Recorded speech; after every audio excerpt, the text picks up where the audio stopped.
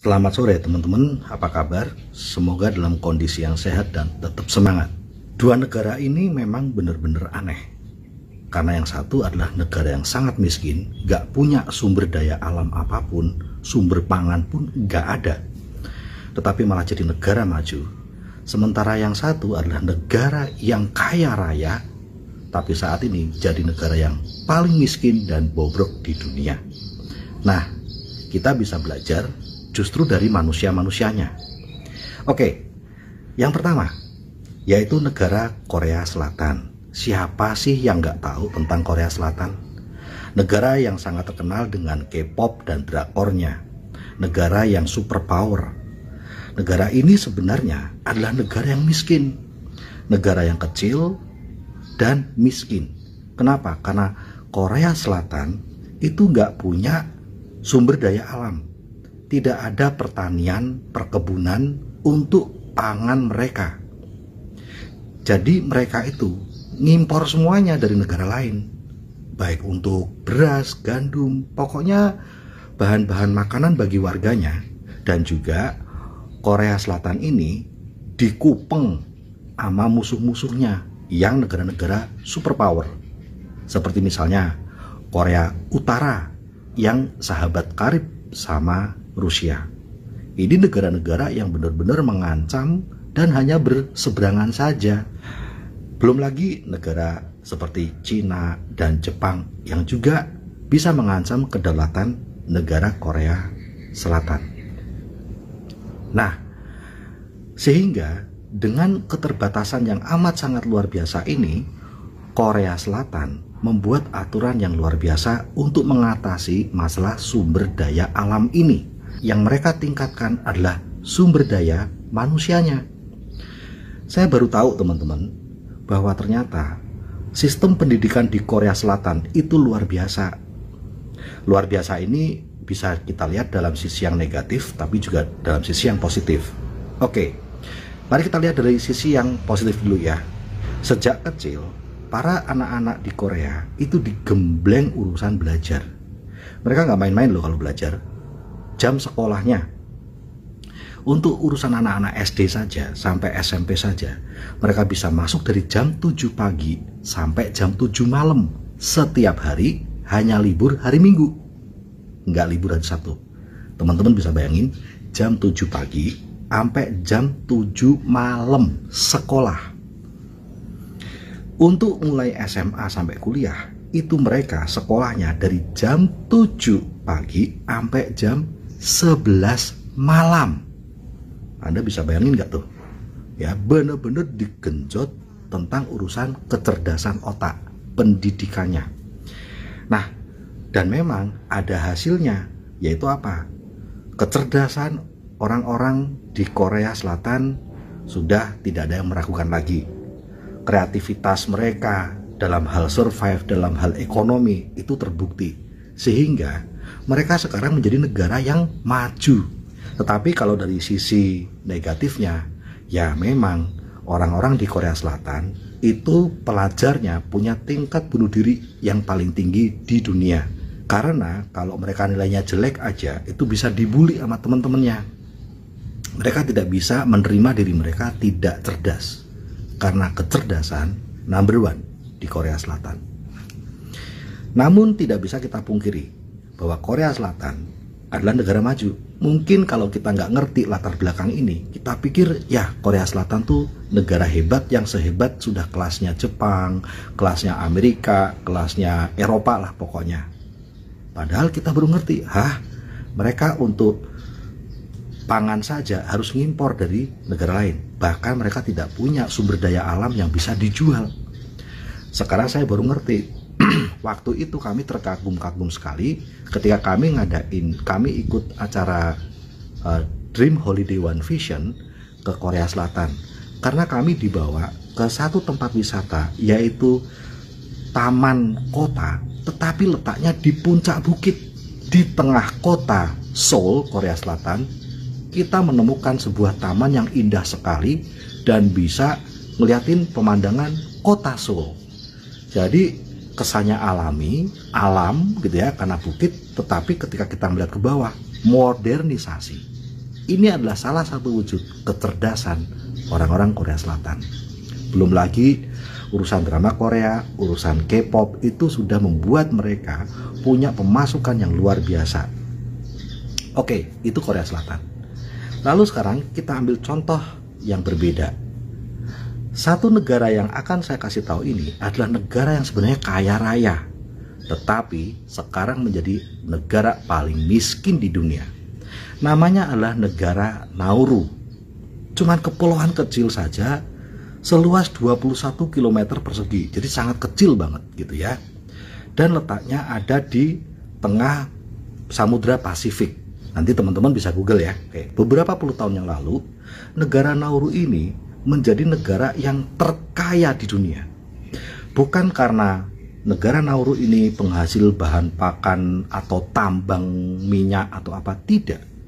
Tetapi ada satu yang unik dari negara Nauru beberapa puluh tahun yang lalu Ternyata negara Nauru atau kepulauan Nauru ini yang jadi negara ya, ini menjadi tempat favorit jenis burung camar tersebut atau burung pelikan tersebut yang jumlahnya jutaan untuk bermigrasi beranak pinak.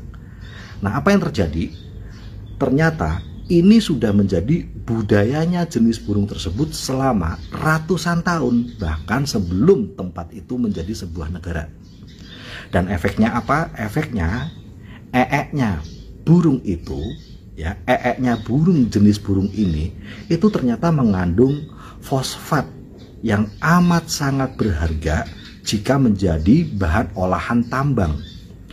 Nah, jadi di sana di negara Nauru ini itu sampai ada gunung-gunung gede yang sebenarnya itu isinya tumpukan fosfat dari ee jenis burung tersebut yang jumlahnya jutaan. Kotoran burung ini mengendap sampai ratusan tahun dan menjadi fosfat dengan kualitas terbaik di dunia. Saya sendiri kurang tahu ya, fosfat itu untuk apa. Yang jelas ini semacam hasil tambang yang bisa disejajarkan sama nikel ya, sama uh, batu bara mungkin gitu ya, yang berharganya, nilai ekonominya sama-sama tingginya. Nah, dan karena penduduk Nauru itu juga nggak banyak jadi ini menjadi negara yang paling kaya raya karena ternyata tambang-tambang uh, ya akhirnya ditambang gitu ya uh, fos fosfat tersebut ditambang gitu ya ternyata tambang-tambang itu menghasilkan penghasilan jutaan dolar Anda tahu sekaya apa penduduk di Nauru puluhan tahun yang lalu berkat tambang fosfat ini. Mereka semuanya itu beli mobil-mobil mewah. Jadi Anda bisa bayangin jalan raya yang panjangnya cuma 21 km udah muterin seluruh negara. jalan rayanya tuh 21 kilo udah muterin seluruh negara. Itu isinya mobil mewah semua.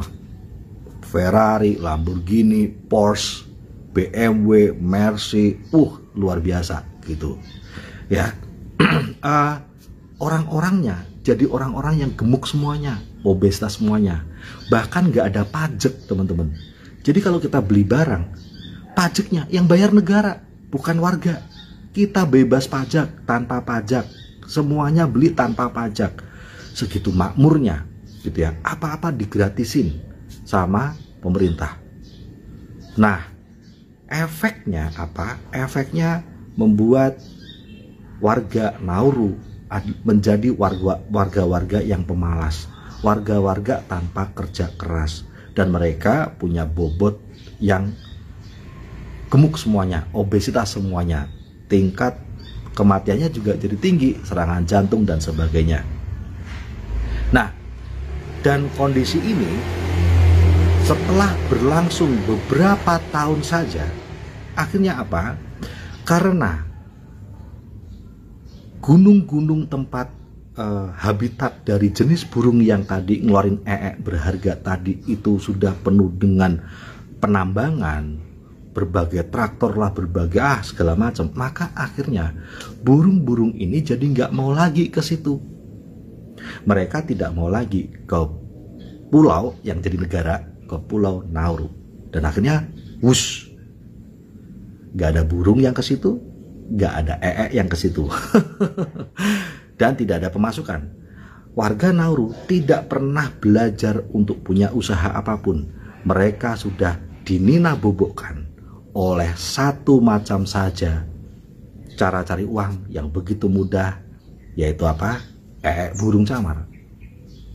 Ketika burung itu kemudian tidak mau ke situ lagi, karena berbagai polusi dan penambangan yang ada ya mana mau burung nongkrong ke situ gitu ya mereka jatuh miskin dan bahkan sampai-sampai mereka banyak yang kelaparan. Pemerintah bahkan mencoba untuk membuat pulau Nauru ini menjadi pulau untuk wisata. Mereka mencoba untuk uh, berbuat sesuatu gitu ya. Misalnya membangun tempat-tempat wisata alam. Nggak berhasil. Pulau Nauru bukan pulau yang bagus, apalagi penuh dengan gunung-gunung yang sudah isinya cuma traktor-traktor tambak, gak ada yang indah seka, sama sekali di sana untuk wisata. Mereka bahkan mencoba untuk membuat Pulau Nauru ini menjadi pulau untuk khusus perjudian saja, semacam Makau mungkin kali ya.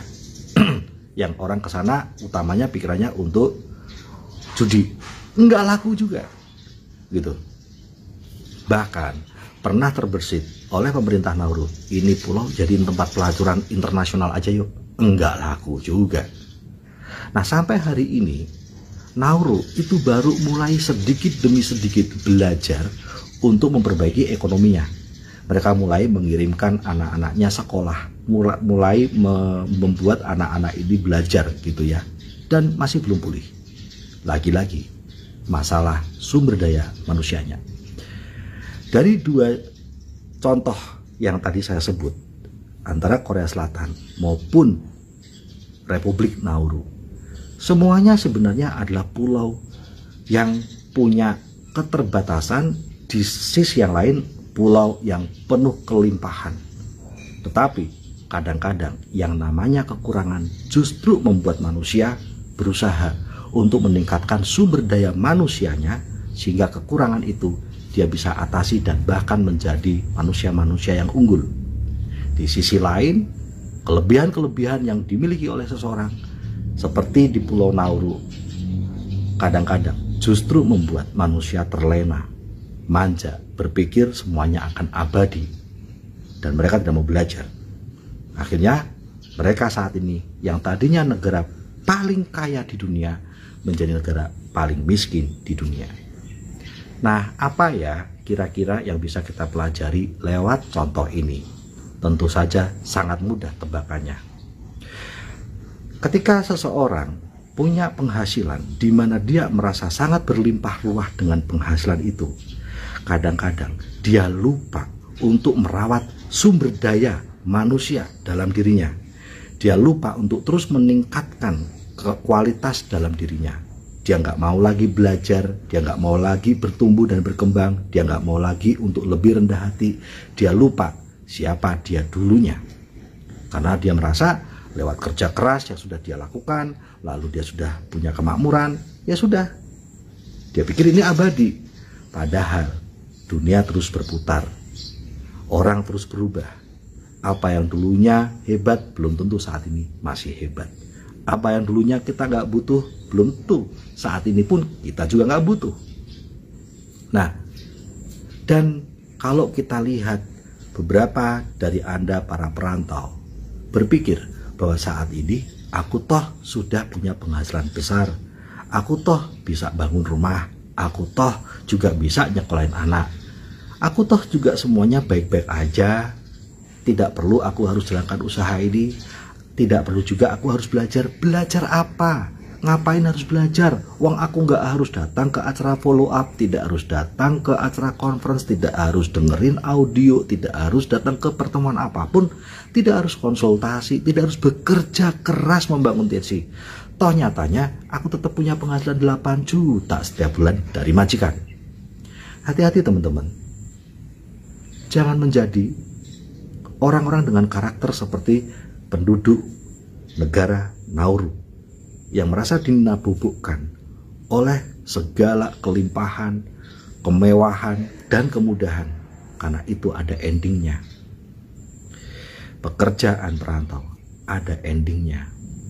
Dan pada saat itu berakhir, berakhir pula semua kelegaan, kejayaan, kemewahan, kemudahan yang mungkin sekarang Anda miliki. Kita bisa dalam kondisi tua, tidak lagi bekerja, pulang ke Indonesia, miskin luar biasa, padahal di usia tua kita lebih butuh banyak biaya dibanding saat muda karena faktor kesehatan. Dan di saat yang sama kita menemukan dan mendapatkan anak-anak kita ternyata nggak sayang juga sama kita. Mereka tidak bisa menghargai betapa kita puluhan tahun sudah jerih payah kerja keras untuk mereka karena mereka nyuekin kita. Karena anak-anak tidak akan pernah menyayangi orang tua yang tidak pernah memberi kasih sayang padanya. So, mari kita belajar dari sisi positif warga yang di Korea Selatan di mana mereka adalah orang-orang dengan banyak kelemahan, orang-orang yang tidak punya sumber daya apa pun, sama seperti kita tidak punya pendidikan tinggi. Kita dari keluarga miskin di kampung, gak punya keterampilan dan pengalaman. Tetapi justru kondisi itulah yang membuat mereka mau meningkatkan sumber daya manusia. Lah kalau manusianya sudah unggul, ya kelemahan apa pun, kekurangan apa pun di sekitarnya pasti bisa dia pecahkan. Semoga kisah ini bermanfaat buat teman-teman dan membuat kita semuanya tersadar bahwa kita ini kalau terlena, terbuai, lupa sejarah dan merasa bahwa hari ini semuanya akan selalu baik-baik saja tanpa perlu berubah, tanpa perlu bekerja keras. Nanti kita bisa jatuh seperti orang-orang warga Nauru. Di sisi ini mari kita belajar dari kegigihan orang-orang yang menjadi warga Korea Selatan. Gocepe, Royal for Freedom.